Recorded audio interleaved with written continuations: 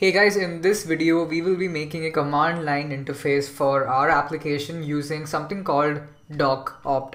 Now docopt is a really cool uh, command line interface maker which uh, it actually parses the doc string which you've defined for your application and it parses that and it understands the inherent properties and it returns you the arguments which were entered by the user. Now I know that doesn't really make sense when I talk about it, but you will see how effective and easy to use this thing is once we write some code and see it in action.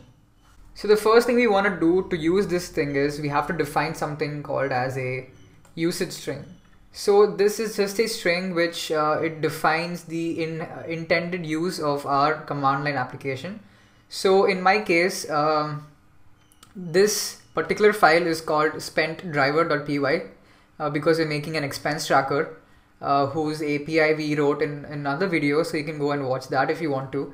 But keeping things short and simple we just define a set of intended usage properties of our application. So in this case our application can be called in three possible ways. So we can say spendDriver.py init which would initialize the application or we can also say spentdriver.py view and then an optional view category. Now, if you have a optional parameter to be given in your application, then you can specify that inside square brackets. So in my case, uh, this view function takes in a optional view category.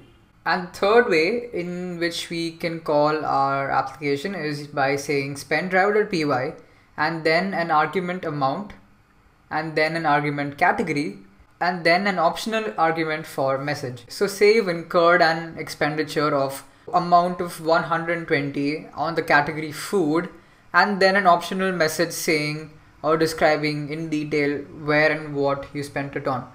So this would be an optional parameter and these two would be uh, your positional arguments. So let's see this code in action. So first we just import uh, docopt and then we say docopt of usage which is our usage string and then we just print the arguments and you'll see how great this thing is. So I'm going to go to my terminal and then I'm going to call spentdriver.py. Now since I did not specify any arguments it returns me the usage so I can look at it and you know it can be useful uh, when I want to call this application again. So now I can see the usage string and I, I can see what is the intended usage. So I can now say python spent driver.py and then I can also specify a command like init. Now when I say that it returns me this dictionary. So it can it shows me that the init property is true that means it's activated and everything else is false. So my view is false, my view category is none, my message is none, my category is none, and my amount is also none. Let's try something else. Let's try doing, I spent 120 on food. In this case, it would say that amount is actually 120, category is food, message is none, view category is none, init is false, and view is false. Pretty neat, huh? Now we can also say something like view and then say transport. So it will say that amount is none, category is none, message is none, but the view category is transport because view is true. So now using this return dictionary, we can actually, you know, uh, design our entire CLI based on the return value from our docopt function. So instead of printing uh, those things, we can now write a very simple wrapper function to use our expense tracker API, which we wrote in the previous video. So keeping things really simple so if args of init so if that is true then we would just want to call the init function from our expense tracker. So for that we can do from spent import start. So I'm going to import all my functions from my uh, spent API which we've defined over here. And then if the init argument is specified in the command line, I will simply call the init function. Otherwise, if args of view is specified, I will say category is equal to args of view category. So I will get the view category as well and then I will simply call the view function from our API. So I can simply say view of category and this would take care of everything else. Since this returns us a, uh, a bunch of stuff. So we can also say amount comma results is equal to view category. And then let's print that out as well. Print the amount and then print the results as well. Now if otherwise if args of amount is specified. Let's give some space over there. If args amount is specified first I would check if that argument is in fact a number right? So we want to typecast that to a number because it comes in as a string. So I will do try. Uh, amount is equal to int or maybe float of float of args of amount. So I'm going to try to convert that to a float. If it happens then I can simply call log with that amount. And the category I would simply refer it back from the arguments dictionary as category. And then I will also specify args of message otherwise if there's any error in converting that to a float number then we can just print an exception. And we will just print the uh, usage string so that the user can know that he's not you know he shouldn't specify a string there. And yeah that should be it. And we can also probably print user profile created.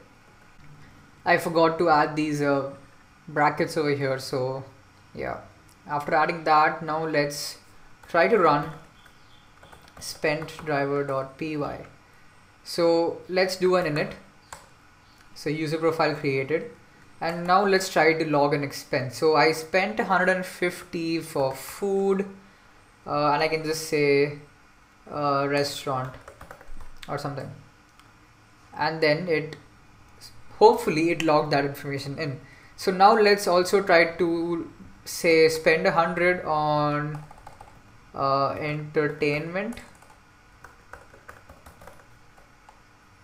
And let's not give any uh, additional message. Entertainment yeah. And it logged that as well let's also do another one say spend 50 on food again. And uh, this time it is takeaway or something. And now let's try to view something. So I'm gonna view all of the expenditures we have right now. So the entire expenditure is a 420 because when you add that up you get 420 because uh, we already had a 120 for transport when we were initially testing out the API functionality. So it's good to know that this thing works and uh, let's also try to say spent driver view on food. So on food alone I spent 200 rupees or 200 of whatever currency you're using and then it returns me a list of all those expenditures which I've made on food. So that's pretty handy right so our app is almost complete. Uh, the one thing which I wanted to add was when we print the results they are actually in a very uh, unhuman readable format. So for that there's this great library called tabulate. So i'm going to just install that using pip. So i'll say pip install tabulate. And when that finishes installing we can use that in our code by importing it. So I'll say from tabulate import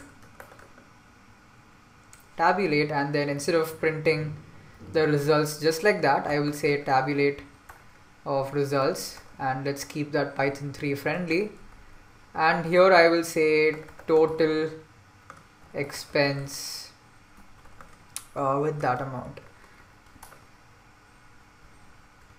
cool. So let's now see how the tabulated content looks like. So I'm gonna go over here and spent view. And now we can see that total expense is 420 coincidental number.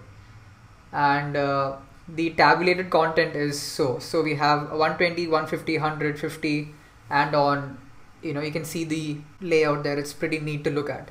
So yeah that completes our uh, command line interface.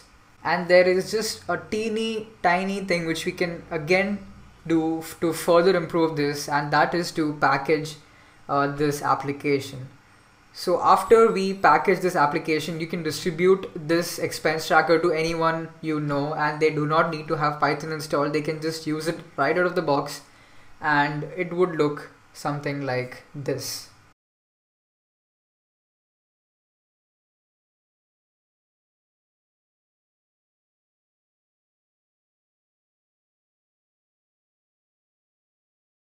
So to learn how you can package your application, please click on this video and uh, thank you for watching.